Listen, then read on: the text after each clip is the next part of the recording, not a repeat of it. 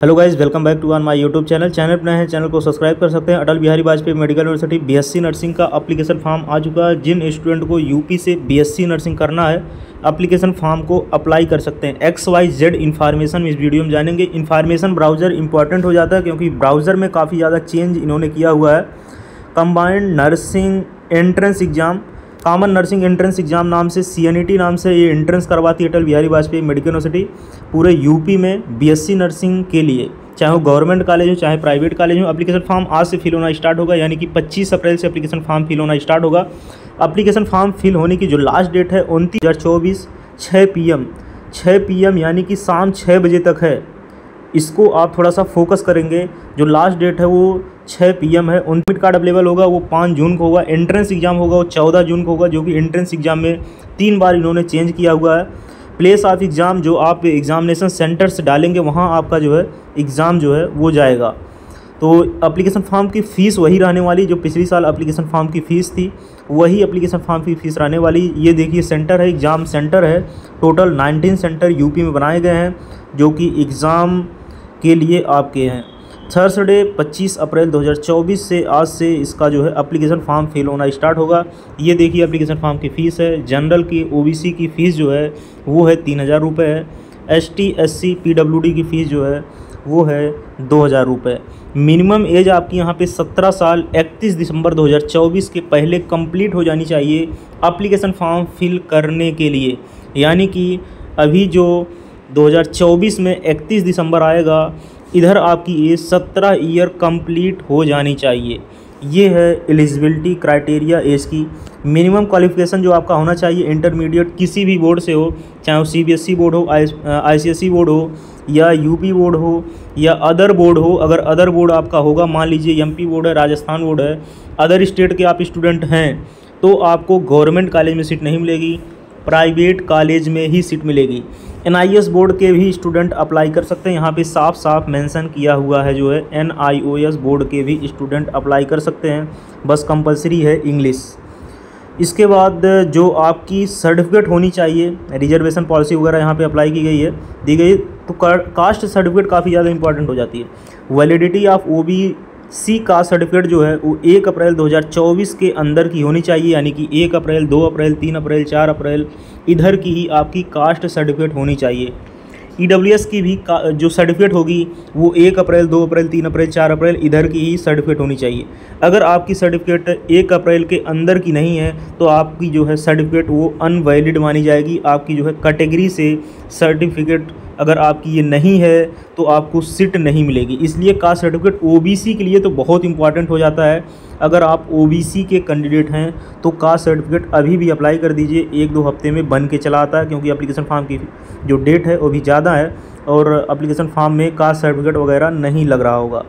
तो इसके बाद instructions candidate for filling online application form तो अप्लीकेशन फॉर्म के जो इंस्ट्रक्शंस हैं, हालाँकि शाम को एक अप्लीकेशन फॉर्म प्रोसीड करके हम आपको बता देंगे admission to BSc nursing courses will be done through C N only तो आपको एंट्रेंस एग्ज़ाम ये देना ही देना पड़ेगा डायरेक्ट एडमिशन आपका जो है प्राइवेट कॉलेज में भी नहीं होगा.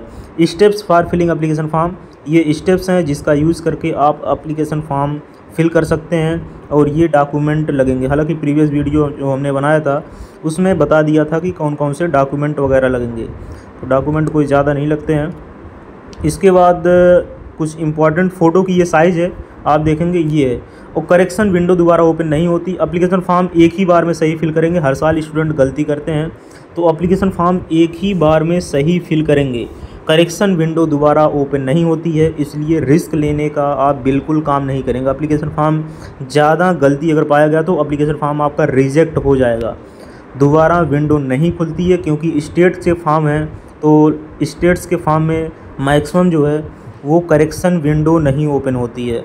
इसके बाद एग्ज़ामनेशन का यहाँ पे जो क्राइटेरिया दिया गया है, चौदह छः दो हज़ार चौबीस को फोर्टीन ऑफ़ जून को एक एग्ज़ाम है, फ्राइडे को। ग्यारह बजे से लेके एग्ज़ाम चलेगा, वो चलेगा दो बज के बीस मिनट तक। यहाँ पे देखिए, एग्ज़ामिनेशन टाइम आपको जो है ट्वेंटी मिनट्स बढ़ाया गया है। एग्ज़ामिनेशन टाइम आपको जो है यहाँ पे ट्वेंटी मिनट्स बढ़ाया गया है। पूरा नीट के क्राइटेरिया के बेसिस पे एग्ज़ाम कर दिया गया है। नीट में भी 200 क्वेश्चंस आते हैं। तो यहाँ पे आपको जो टाइम मिलेगा, वो मिलेगा तीन घंटे बीस मिनट आपको ग्यारह बजे से बारह बजे बारह बजे से एक बजे एक बजे से दो बजे दो बजे से दो बज के बीस मिनट। यहाँ पे टोटल आपको बीस मिनट दिए जाते हैं एग्ज़ामिनेशन के लिए। तो काफ़ी अच्छी इन्फॉर्मेशन है। साढ़े तीन घंटे अप्रॉक्स जो है आपको टाइम मिल रहे हैं। तीन घंटे बीस मिनट मिल रहे हैं एग्ज़ामिनेशन के लिए। जो अच्छी इन्फॉर्मेशन ये है कि पेपर जो है, वो बाई लैंग्वेज में हो रहा है। बाई लैंग्वेज में पेपर हो रहा है काफ़ी ज़्यादा इंपॉर्टेंट ये हो जाता है जो यूपी के कैंडिडेट हैं, जो इंग्लिश समझने में जिनको थोड़ी सी प्रॉब्लम होती है। हालाँकि इंग्लिश समझने में प्रॉब्लम नहीं होनी चाहिए, क्योंकि कॉलेज में आप आएँगे तो आपको इंग्लिश ही पढ़ना पड़ेगा मतलब इंग्लिश में ही पढ़ना पड़ेगा। इसलिए इंग्लिश समझने में आपको प्रॉब्लम नहीं होनी चाहिए। इसके बाद जो यहाँ पे मल्टीपल चॉइस क्वेश्चन आपको 200 देखने को मिलेंगे। वो होगा वो होगा ओमार बेस्ड ही होगा मतलब आपको पेन पेपर बेस्ड ही होगा। आपको जो है सर्कल करना पड़ेगा, इसलिए आप प्रैक्टिस कर लीजिए। टोटल नंबर आप क्वेश्चन जो है वो 200 आ रहे हैं। कोई निगेटिव मार्किंग नहीं है। एक क्वेश्चन एक नंबर कंटेंट करेगा। कोई निगेटिव मार्किंग नहीं है। हिंदी, इंग्लिश दोनों में एग्ज़ाम होगा। सिलेबस यहाँ पे थोड़ा देखेंगे। सिलेबस में भी फेर बदल किया गया है। नर्सिंग एप्टीट्यूड 20 परसेंट आ रहे हैं। फिजिक्स 20 परसेंट आ रही है। केमिस्ट्री 20 परसेंट आ रहा है, बायो 20 परसेंट आ रही है, इंग्लिश 20 परसेंट आ रही है। इंटरमीडिएट लिखा गया है, लेकिन इंटरमीडिएट पे फोकस नहीं करेंगे। इलेवंथ का भी आता है ट्वेल्थ का भी आता है। इसलिए इलेवन ट्वेल्थ दोनों का आता है इंटरमीडिएट पे फोकस यहाँ पे नहीं करेंगे। यहाँ पे जीके का पोर्सन हटा दिया गया है, इसलिए आपको टेंशन लेने की ज़रूरत नहीं है। नर्सिंग एप्टीट्यूड सिंपल होता है नर्सिंग एप्टीट्यूड से ना घबराएँ। ये चीज़ें आपको पता ही होती है नर्सिंग कितने साल का होता है नर्सिंग के बाद क्या कर सकते हैं नर्सिंग को हिंदी में क्या कहते हैं, यही चीज़ें जो है नर्सिंग एप्टीट्यूड में पूछता है। मिनिमम क्वालिफिकेशन आपको एडमिशन लेने के लिए प्राइवेट कॉलेज में भी जो होना चाहिए, वो पचास परसेंटाइल होना चाहिए और जनरल पीडब्ल्यूडी के लिए पैंतालीस परसेंट होना चाहिए ओबीसी एससी एसटी के लिए जो है चालीस परसेंट होना चाहिए। एग्जामिनेशन में रिपोर्टिंग टाइम है, वो नाइन ए है नाइन ए से आप जो है रिपोर्ट कर सकते हैं। और एंट्री जो है वो दस बजे के बाद नहीं होगी। ये स्ट्रिक्ट तौर पे फॉलो होता है हर साल फॉलो होता है और पिछली साल भी कई कैंडिडेट थे जिनकी एंट्री नहीं हो पाई थी और एग्ज़ाम से वंचित हो गए थे।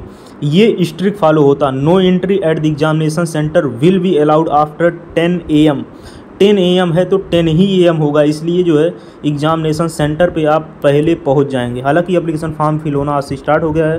एप्लीकेशन फॉर्म फिल करते हुए आप पढ़ाई कंटिन्यू करते रहें। एन e पे फोकस करें। एन e के अलावा इधर उधर चीज़ों पे फोकस ना करें। बाकी 2021 22 23 मेन एग्ज़ाम का क्वेश्चन पेपर हमारे चैनल पे है। उसको आप जाके देख सकते हैं। वहाँ हमने अपलोड किया है। 22 23 का तो अभी अपलोड किया था। 21 का 2022 में अपलोड किया था। तो ये चीज़ें हैं। आप इसको कर लीजिए और प्रिपरेशन को कंटिन्यू करिए क्योंकि अप्लीकेशन फॉर्म जो है, अब आपका इंतज़ार ख़त्म हो गया है। इंस्टाग्राम टेलीग्राम लिंक है डिस्क्रिप्शन बॉक्स उसको भी आप ज्वाइन कर सकते हैं। कोई भी डाउट्स हो कमेंट बॉक्स में कमेंट करिए रिप्लाई आपका किया जाएगा। मिलते हैं नेक्स्ट वीडियो में अपडेट के साथ। जय हिंद।